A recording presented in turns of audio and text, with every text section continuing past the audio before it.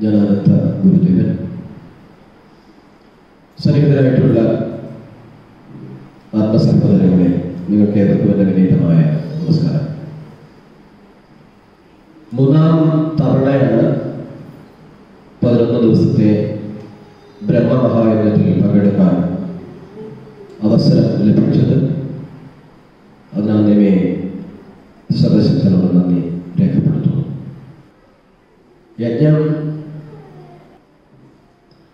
ലക്ഷ്യങ്ങൾ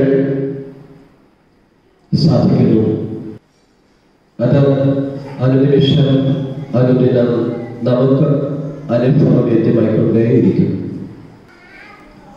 ലോകശാന്തിയും സമാധാനവുമാണ് യജ്ഞത്തിന്റെ ലക്ഷ്യമെന്ന് പറയും അതിനപ്പുറം ഏകലോക സംഗ്രഹമാണ് യജ്ഞം. സാക്ഷാത്കരിക്കാൻ ലക്ഷ്യമുള്ളത് അവിടെ ദുഃഖവും ദുരിതവും പ്രളയവും നാശവും നഷ്ടവും. ഭഗവാനൊന്നും നഷ്ടമല്ല. എല്ലാം ശിഷ്ടമാണ്. എന്തവശേഷിക്കുന്നുവോ? എന്ത് അത് ഏകമായ സത്യമായിരിക്കുന്നു. ഏകമായ സത്യത്തിലേക്കുള്ള ഏകലോകത്തിലേക്കുള്ള പ്രയാണത്തിന്റെ ഭാഗത്തിലാണ് നമ്മൾ.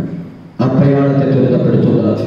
ആ പ്രയാണത്തെ വേഗത്തിലാക്കുക ആ പ്രയാണത്തെ ചുക്കാൻ പിടിക്കുക നാഥനാണ് ജ്ഞാനാനന്ദ ഗുരു അതറിയാൻ പലപ്പോഴും വൈകും. പലപ്പോഴും തിരിച്ചറിയുക സാധ്യവുമാണ് യജ്ഞമെന്ന് പറയുന്നത് സാധാരണ അർത്ഥത്തിൽ നമുക്കറിയാം കർമ്മം എന്താണെന്ന് അറിയാൻ നാം ഇച്ഛിച്ചുകൊണ്ട് ആഗ്രഹിച്ചുകൊണ്ട് എന്തെങ്കിലുമൊക്കെ കിട്ടണമെന്ന് ആഗ്രഹിച്ചുകൊണ്ട് ഇപ്പം ശശീന്ദ്രൻ പറഞ്ഞതുപോലെ ഇവിടെ ഭജന ഭരിക്കാൻ വരുന്നവർ ഇവിടുത്തെ കാര്യങ്ങളിലൊക്കെ ഇടപെടും ഇവിടുത്തെ കാര്യങ്ങളൊക്കെ ചെയ്യും. വളരെ ശ്രദ്ധാലുക്കളാണ്. ഞാൻ കുറ്റപ്പെടുത്തുന്നില്ല.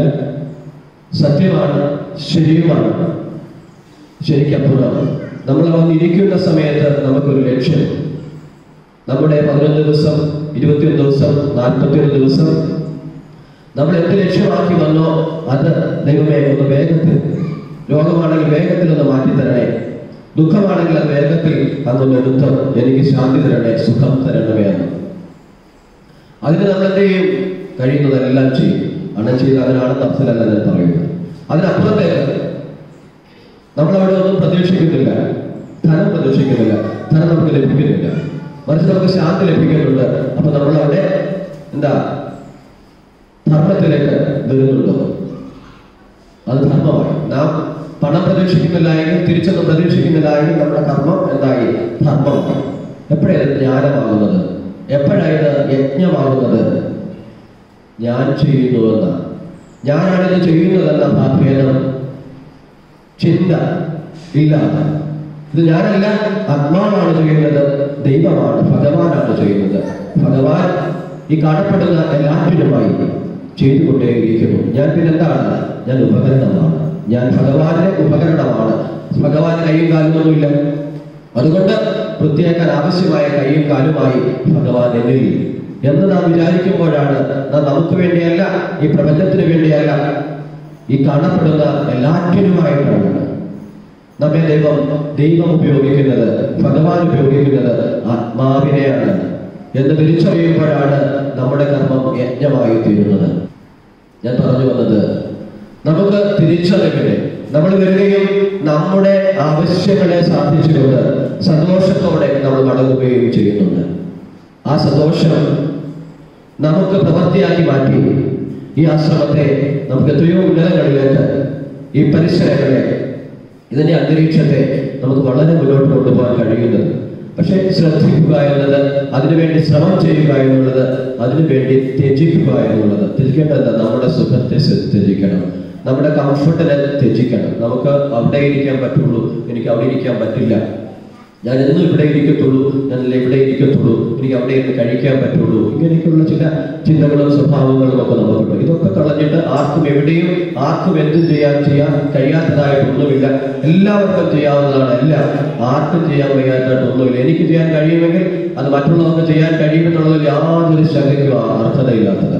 യാതൊന്നും ആർക്കും ചെയ്യാവുന്നത്. ഒരു പറഞ്ഞിട്ടില്ല നമ്മൾ കടലിലെ ഒരു തുള്ളി വെള്ളമെടുത്താലും ഒരു കുടം വെള്ളമെടുത്താലും കടലിലെ ജലം മൊത്തം എടുത്താലും എന്തുണ്ട്? ആ കടലിന്റെ ഗുണം അതിനുണ്ട് ആ ഒരു തുള്ളി വെള്ളത്തിലുണ്ട് എന്ന് പറയുന്നത് പോലെ ഈ മനുഷ്യരാശിയായിരിക്കുന്ന ഓരോ ജീവനും ഓരോ മനുഷ്യനും ദൈവത്തിന്റെതായ സർവശക്തികളോടും ഗുണങ്ങളോടും കൂടി ജനിക്കപ്പെട്ടിട്ടുള്ളത്.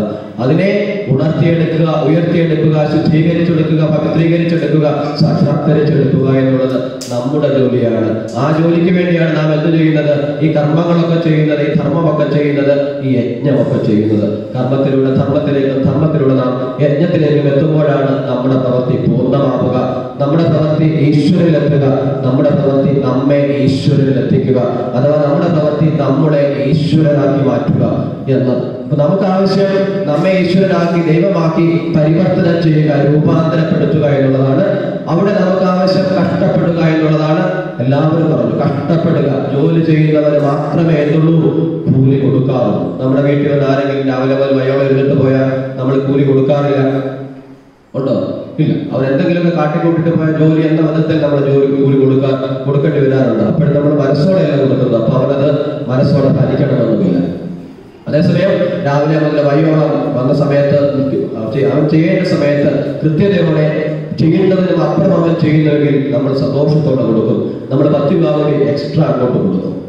എന്ന് പറയുന്നത് പോലെയാണ്. നാം ദൈവത്തിന് വേണ്ടി മറ്റുള്ളവർക്ക് വേണ്ടി അന്യന് വേണ്ടി എത്രത്തോളം ത്യാഗം നാം ചെയ്യുന്നുവോ കർമ്മം നാം ചെയ്യുന്നുവോ അതിനുള്ള ഫലം നമ്മുടെ ആത്മാവിൽ നമ്മുടെ ആത്മാവ് സമ്പന്നമായിക്കൊണ്ടിരിക്കും സമ്പുഷ്ടമായിക്കൊണ്ടിരിക്കും അർത്ഥവത്തായിക്കൊണ്ടിരിക്കും. അതിന് നാം ഓരോരുത്തരും ശ്രമിക്കണമെന്നതാണ് എന്റെ പ്രാർത്ഥന. പിന്നെയുള്ള ഒരു കാര്യം എന്ന് പറയുന്നത് നമ്മിൽ നിന്ന് ഏതാനും ചില ആൾക്കാർ ഈ മാസങ്ങളിൽ ഒരു പടി മുന്നിലേക്ക് കുറെ അടി പടി പടി മുന്നിലേക്ക് സ്വാമിജി എത്തിച്ചു. നമ്മൾ കണ്ടു മൂന്ന് പേര് സന്യാസത്തിന്റെ ദീക്ഷനാമം സ്വീകരിച്ച മുന്നേറി ആ മൂന്ന് പേരെയും നമ്മൾ ഇവിടെ അവിടെ നിൽക്കുന്നവർ മാത്രമല്ല ഇവിടെ ഇരിക്കുന്നവർ ഒന്ന് തിരിഞ്ഞു നോക്കി ശ്രദ്ധിക്കണം. എങ്ങനെയുള്ളവർക്കാണ് സ്വാമിജി ദീക്ഷാനാമം നൽകി? മൂന്ന് സ്ത്രീകളെ കണ്ടു സ്ത്രീ രത്നങ്ങളെ കണ്ടു. അതുകൊണ്ട് പറഞ്ഞത് മാത്രമേ ഉള്ളൂ. നമ്മൾ അങ്ങോട്ട് ശ്രദ്ധിച്ചു നോക്കണം. എന്തുകൊണ്ടാണ് ആ വ്യക്തികളുള്ള പ്രത്യേകത എന്താ? എന്തുകൊണ്ടായിരിക്കും സ്വാമി അവർക്ക് ദീക്ഷാനാമം നൽകിയത്? ഒരാളെ നമുക്ക് ഏറ്റവും പ്രായമുള്ള ആളാണ് ആ കൂട്ടത്തിൽ. രമണിയമ്മ എന്ന് പറയുന്നത്. എല്ലാവരും നമ്മൾ പറഞ്ഞു കൊറോണ കൊറോണ കൊറോണ എന്നൊക്കെ പറഞ്ഞു. കൊറോണ തുടങ്ങി ഇവിടെ വേലിക്കെട്ടുകളൊക്കെ വന്നു.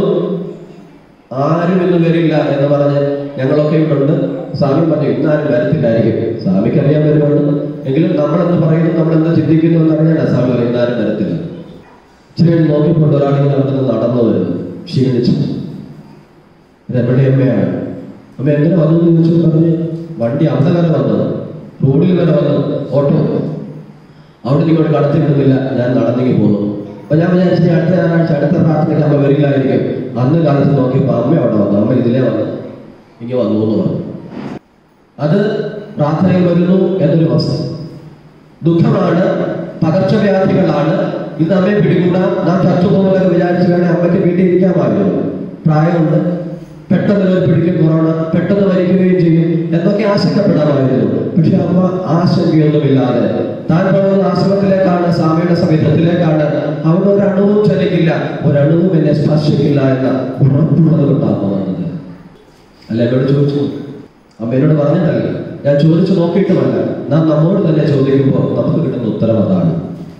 പിന്നെയുണ്ട് കുറെ വർഷങ്ങൾക്ക് മുമ്പ് തന്റെ മക്കളിൽ ഒരാൾ മരണപ്പെടാനിരിക്കുന്നു എന്ന് കേട്ടപ്പോ സ്വാമിജിയോട് പറഞ്ഞു സ്വാമിയുടെ അവിടെ വേദിയിൽ വെച്ചാണ് അത് ഉണർത്തപ്പെടുന്നത്. അപ്പൊ സ്വാമിജിയോട് സ്വാമി പ്രാർത്ഥിക്കാൻ വേണോ? അത് അവിടുന്ന് വരാറില്ല. എന്തു ചെയ്യണം എന്ന് ആശങ്കപ്പെടുമ്പോ സ്വാമി ചോദിച്ചു ഇതെല്ലാം നിനക്ക് എടുക്കാമോ? എന്ന് ചോദിച്ചു. പാപം. മക്കളുടെ പാപം. യാതൊരു കാരണത്താലാണോ പാപത്താലാണോ അവിടെ ജീവിതാന്ത്യം വരാനിരിക്കുന്നത്?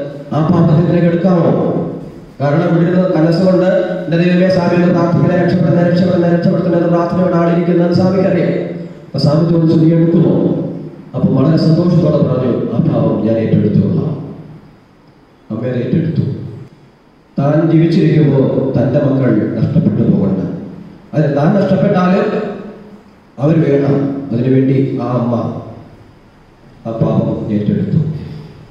കുറെ നാളുകൾ കഴിഞ്ഞു കാൽ പിഴുത്തു അസ്ഥിയിലേക്ക് പഴുപ്പ് കയറുമെന്നായി അപ്പോഴും ആശുപത്രിയിൽ പോയില്ല. അടുത്തേക്ക് വന്നു. ആ പാപമാണ് തന്നെ വലയ്ക്കുന്നത് അവർക്കറിയാം. സ്വാമിയുടെ അടുത്ത് വന്നു. സ്വാമിയുടെ സങ്കടം പറഞ്ഞു. എന്നും വരുന്നുണ്ട്. സ്വാമി കുറച്ച് ദിവസം വന്ന് പ്രാർത്ഥനയിൽ ഭജന വിരിക്കാൻ പറഞ്ഞു. പതിനാൽപ്പത്തി ഒന്ന് ദിവസം പത്തൊമ്പത് ദിവസം ഇരുന്നു. ഭജന വരുന്നു. ആ കാലൊക്കെ കഴിഞ്ഞ് സന്തോഷവതിയായി അമ്മ മടങ്ങി. ആ പാപത്തിൽ നിന്ന് തന്നെ തന്നെ അവർ വേർപെടുത്തി. ആ പാപമൊക്കെ തന്നിൽ കൊണ്ടുവന്ന് അത് ദൈവസമക്ഷത്തിൽ തന്നെ സ്വയം സമർപ്പിച്ച് അതില്ലാതെയാക്കി മക്കളെയും രക്ഷിച്ചു തന്നെ തന്നെയും രക്ഷിച്ചു. ആ അമ്മയാണ് ആ സ്ത്രീരക്തത്തെയാണ് സ്വാമി നിർമ്മലാദേവി എന്ന് വിളിച്ചത്. അത് കഴിഞ്ഞ് അടുത്തത് സരോജ അമ്മ എല്ലാവർക്കും അറിയാം. എല്ലാവരും കാണുകയും കേൾക്കുകയൊക്കെ ചെയ്യും. ധർമാന്തരുടെ കാലത്ത് തൊട്ട് വരുന്ന ആളാണ്. അപ്പൊ സാമജി തെരഞ്ഞെടുത്ത് കൊടുത്തു എന്ന് നമുക്ക് പെട്ടെന്ന് തോന്നിയേക്കാം. പക്ഷേ കുറച്ച് കാലങ്ങൾക്ക് മുമ്പ് എന്ന് രാവിലെ പ്രാർത്ഥനയ്ക്ക് വരുമ്പോൾ എന്നോട് പറയാം പ്രസാദ് ആരോട് പറയണ്ട ഒരു മുണ്ടെടുത്ത് വെച്ചേക്കണെന്ന് പറയും. എന്താ വീട്ടിലുള്ള മുണ്ടെല്ലാം തീർന്ന്. വീട്ടിലുള്ള സാരികളൊക്കെ തീർന്ന്. ഇപ്പൊ ഞാൻ ഉടുത്തോണ്ട് വരുന്ന സാരി മാത്രമേ ഉള്ളൂ. എന്താ കാര്യം? എന്റെ നെറ്റിൽ ക്യാൻസർ വന്ന് പൊട്ടി. രക്തവും ചലവും ഇങ്ങനെ വമിച്ചുകൊണ്ടേയിരിക്കണം സ്വാമിയുടെ ആശുപത്രി പറഞ്ഞു ഞാൻ പോകത്തില്ല സ്വാമി മാറ്റുന്നെങ്കിൽ ദൈവം മാറ്റുന്നെങ്കിൽ ഗുരു മാറ്റുന്നെങ്കിൽ അത് മാറിയാൽ എന്ന് പറഞ്ഞു. ഞാൻ അവരോട് പറയാതെ ഒരു കൊണ്ടെടുത്ത് ജനലിൽ വെച്ചേക്കും അവിടെ വെച്ചിട്ടുണ്ടെന്ന് പറയുന്നു പോയി എടുത്തോണ്ട് പോകും. അടുത്ത ദിവസം വരുമ്പോഴും വീണ്ടും മുണ്ട് ചോദിക്കും. പല പ്രാവശ്യമായി കൊണ്ടു തീർന്നു. ഒരു ദിവസം പിന്നെ ഞാൻ പുതിയ എടുത്തു കൊടുത്തു. ദിവസവും സ്വാമി പ്രാർത്ഥിക്കുകയാണ്. കർമ്മഫലമാണ് അനുഭവിച്ചു തീരേണ്ടതാണ്. അപ്പോഴും സ്വാമി പ്രാർത്ഥിക്കുകയാണ് ഈ അണുക്കളെ ഒന്ന് ഇല്ലാതാക്കാനായിട്ട്. അങ്ങനെ മാസങ്ങൾ കഴിഞ്ഞു. ഒരു ദിവസം സ്വാമി പറഞ്ഞു ക്യാൻസറിന്റെ അണുക്കളൊക്കെ തീർന്നിട്ടുണ്ട്. ഇനി നീ പോയി ആ ചവ് എടുത്ത് കളയണം. ഡോക്ടറെ അടുത്തോട്ട് പോയി ഡോക്ടറെ കണ്ട് ചവ് എടുത്ത് കളയണം. അങ്ങനെ കർമ്മ അതിന്റെ ഫലമാണ് അത് ഇച്ചിരി ഒന്ന് വേദന ഇച്ചിരൊക്കെ പാടുമൊക്കെ വരണം. നീ അത് പോയി ചെയ്യണമെന്നാണ് സ്വാമി ഉദ്ദേശിക്കുന്നത്. അപ്പോഴും ഇല്ല ഞാൻ പോകത്തില്ല. ഞാൻ പോകത്തില്ല എന്ന് ഇവിടെ സ്വാമി ഒരു കാര്യം ചെയ്യാം ആയുർവേദ ഡോക്ടറെ കാണും അല്ലെ ഹോമിയോ ഡോക്ടറെ കാണും അവിടെ ചെന്ന് ഏതൊക്കെ കൊടുത്ത് ഏതൊക്കെ വെച്ച് കെട്ടി ഇതൊക്കെ വഴുത്തു ഒടുവിൽ വീണു നിലംപരിശായി അപ്പോൾ നാട്ടിൽ വീട്ടുകാരടുത്ത് ഹോസ്പിറ്റലിൽ കൊണ്ടുവന്നു. അവരവിടെ തന്നെ പെരുമാറി. എങ്ങനെ പെരുമാറി? അവളോട് ചോദിച്ചു പരിഹരിക്കേണ്ടെന്ന് പറഞ്ഞു. കാരണം ഇങ്ങനെ ദുഃഖപ്പെട്ട് രോഗപ്പെട്ടിരുന്നിട്ടും ആശുപത്രിയിൽ കൊണ്ടുപോകാത്ത മക്കളെ ശിക്ഷിക്കാൻ നിയമമുണ്ട്. പിന്നെ അവർ കാലുപിടിച്ച് കാര്യങ്ങളൊക്കെ പറഞ്ഞു. അപ്പൊ അവർ പറഞ്ഞു ഇത് എന്ത് കീറിയാലും ചവെടുത്ത് കളഞ്ഞാലും ഇതിന് കൂടി യോജിക്കില്ല. അതുപോലെ ഇത് വികൃതമായി പോയി എന്നുള്ളത്. അമ്മ പറഞ്ഞു എങ്ങനെയെങ്കിലും ഒന്നിട്ട് മതി മറ്റൊന്നും നിങ്ങൾ ചെയ്യണ്ട. അങ്ങ് ഇരുന്നോട്ടെ വികൃതമായിട്ടെങ്കിൽ വികൃതമായിട്ട്. ഒടുവിൽ എന്ത് പറയുന്നു? വളരെ കഷ്ടപ്പെട്ട് ബന്ധപ്പെട്ട കാലൊക്കെ പിടിച്ച് അവരത് ഓപ്പറേറ്റ് ചെയ്ത് കീറി പുറത്തിറങ്ങി പോന്നപ്പോൾ അവർ പറഞ്ഞു ഞങ്ങൾ പ്രതീക്ഷിച്ച പോലെയല്ല. എല്ലാം മനോഹരമായി തുന്നിച്ചേർക്കാൻ ഞങ്ങൾ കഴിഞ്ഞിട്ടുണ്ട്. ഒരു കുഴപ്പവുമില്ല.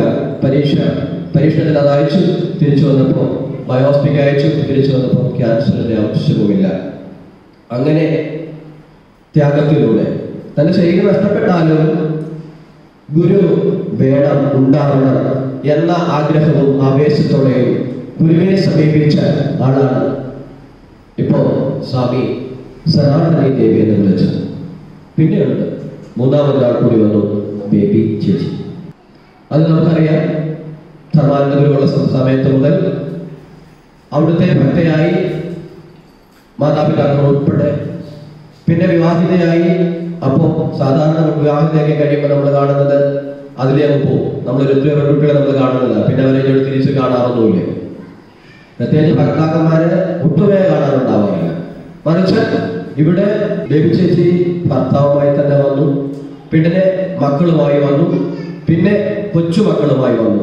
എന്നുവെച്ചാൽ എല്ലാവരെയും താൻ എവിടെ എത്തിയോ അവിടെ ഉണ്ടായവരെ പോലും തലമുറകളെ പോലും ദൈവസമക്ഷത്തിൽ എത്തിച്ചു. ഗുരുപാദങ്ങളിൽ എത്തിച്ചു. ഗുരു ശിക്ഷണത്തിൽ അവരെയൊക്കെ ഭാഗഭാഗുകളായി. അത് മാത്രമാണോ? രാവിലെ എണീച്ച സ്വാമി എന്തിനും സ്വാമി എപ്പോൾ വിളിക്കുമെന്ന് നോക്കിയിരിക്കുന്ന ഒരു കുടുംബമാണ്. കടയിൽ സാധനം വായിക്കാനാണെങ്കിൽ സ്വാമിക്ക് പരിപാടി വായിക്കാനാണെങ്കിൽ സ്വാമിക്ക് എങ്ങോട്ടെങ്കിലും പോകാനാണെങ്കിൽ നിതാന്ത ജാഗ്രതയോടെ യാതൊരു പ്രവർത്തനങ്ങൾക്കുമായി കാത്തിരിക്കണം. കുടുംബത്തിലാണെങ്കിൽ പോലും ആ കുടുംബത്തിലെ കാര്യങ്ങൾ പോലും മാറ്റി വെച്ചിട്ട് ഇവിടുത്തെ കാര്യങ്ങൾ നിർവഹിക്കാനായി ശ്രമിക്കുന്നവരാണ് അത് മാത്രമാണ് അതുമല്ല മഹാരോഗത്തിനടിമയാണ് താൻ തന്റെ കുടുംബത്തിൽ തനിക്ക് മുന്നിലുണ്ടായിരുന്ന പലരും തളർന്നു കിടന്ന് നശിച്ച് നാമാവശേഷമായി ആത്മാവ് നഷ്ടപ്പെട്ടു പോകുന്നത് കണ്ട് തനിക്കും താനും അതേ പാതയിലാണെന്ന് അറിഞ്ഞ് അതിൽ നിന്ന് തന്നെ ഉണർത്തിയെടുക്കണം ഉയർത്തിയെടുക്കണം. എന്റെ ആത്മാവിനെ എനിക്ക് ഈശ്വരൻ എത്തിക്കണം എന്ന പ്രതിജ്ഞയോടെ ദുഃഖങ്ങളെയും ദുരിതങ്ങളെയും ഒക്കെ ശിരസ ഇപ്പോഴും നമുക്ക് ഇരിക്കുമ്പോഴും നിൽക്കുമ്പോഴും ഒക്കെ ഇന്നിക്കാൻ വയ്യ കിടക്കാൻ വയ്യ നടക്കാൻ വയ്യ അവസ്ഥയിലായിരിക്കുമ്പോഴും അതെന്തുകൊണ്ടാണ്? അവിടെ എന്ത് സംഭവിക്കുന്നു എന്റെ ശരീരത്തിൽ നിന്ന് അനുനിമിഷം പഠിച്ചുകൊണ്ട് അത് മറ്റുള്ളവർക്ക് പറഞ്ഞു കൊടുത്തുകൊണ്ട് ഗുരു എപ്രകാരത്തിലാണ് മനുഷ്യനെ ആത്മാവിലും ശരീരത്തിലും എന്തിനാ ശരീരത്തിൽ കൂടി ഈ ശരീരത്തിൽ ബാധകളും രോഗങ്ങളും ദുരിതങ്ങളും ഒക്കെ ആയിട്ടാണ് നമ്മുടെ ആത്മാവ് പോകുന്നതെങ്കിൽ ഇതിന്റെ അംശം നമ്മുടെ ആത്മാവിൽ കാണും? അടുത്ത് തന്നെ എടുക്കേണ്ടി വന്നാൽ പോലും എന്ത് പറ്റും? ഈ രോഗങ്ങളൊക്കെ അവിടെയും ഉണ്ടാകും അത് മാത്രമാണോ നമ്മുടെ നമ്മെ നാം മരണപ്പെട്ടു പോയി കഴിയുമ്പോൾ നമ്മുടെ തലമുറകളിലേക്കൊക്കെ ഇത് വ്യാപിച്ചു കയറുമ്പോൾ എന്ത് സംഭവിക്കും? ഈ രോഗങ്ങളൊക്കെ മക്കളിലേക്ക് കൂടി പകർന്നു പോകും. അപ്പൊ എന്ത് പാടില്ല. തന്നിൽ ഒരു ലോകത്തിന്റെയും അംശങ്ങൾ അവസാന അവശേഷിച്ചുകൂടാ. എന്റെ മക്കളിലേക്ക് കൂടി തലമുറകളിലേക്ക് കൂടി രോഗങ്ങളെ നാം കൊടുത്തിട്ട് പോയിക്കൂടാ. അതിനെയൊക്കെ ഇവിടെ അവസാനിപ്പിച്ചിട്ട് സംസ്കരിച്ചിട്ട് പോകണം എന്ന ദൃഢനിശ്ചയത്തോടെ പ്രവർത്തിക്കുന്നവരാണ്. ഒരു വർഷത്തിലധികമായി ഈ ഹൃദയവേദനയുമായി നടക്കുന്നു. തന്നിലിരിക്കുന്ന ഓരോ ഞരമ്പുകളെയും ഭഗവാൻ തെറുത്ത് എടുക്കുന്നത് പോലെ രക്തവോട്ടം ഇല്ലാതിരുന്ന ഓരോ രക്തകോശങ്ങളിലേക്കും രക്തമെത്തിക്കുന്നതിലൂടെ തന്നെ പുനരുദ്ധരിക്കുകയാണെന്ന് അറിഞ്ഞിട്ട് ഓരോ വേദന വരുമ്പോഴും അവിടെയുള്ള ഞരമ്പുകൾ ഇപ്പൊ ചലിച്ചു തുടങ്ങി എന്ന് തിരിച്ചറിയു അറിയുന്നതിലൂടെ ദൈവത്തിന്റെ പ്രവർത്തനങ്ങളെ അവർ തിരിച്ചറിയുന്നു. അപ്പോഴും വേദനയില്ലാതെ ദുഃഖമില്ലാതെ ഭഗവാനെ ശരണപ്പെടാനുള്ള മനസ്സിലാണ് ദൈവം വിളിച്ചത്. സ്വാമിജി വിളിച്ചത്. എന്താ വിളിച്ചത്? ആത്മാനന്ദമയി ദേവി. ആത്മാവിനെ അറിയുന്നവൾ അറിയേണ്ടവൾ അറിഞ്ഞ് മറ്റുള്ളവർക്ക് കൂടി പകർന്നു നൽകേണ്ടവൾ. അങ്ങനെ മൂന്ന് ദേവിമാരെ നമുക്ക് കിട്ടിയിട്ടുണ്ട്. കൂടുതൽ ദേവിമാരെയും ദേവന്മാരെയും നമുക്ക് കിട്ടാൻ ഇടയാവുന്ന പ്രാർത്ഥനയോടെ. എന്റെ വാക്കുകൾ ഉപസംഹരിക്കുന്നു നന്ദി നമസ്കാരം.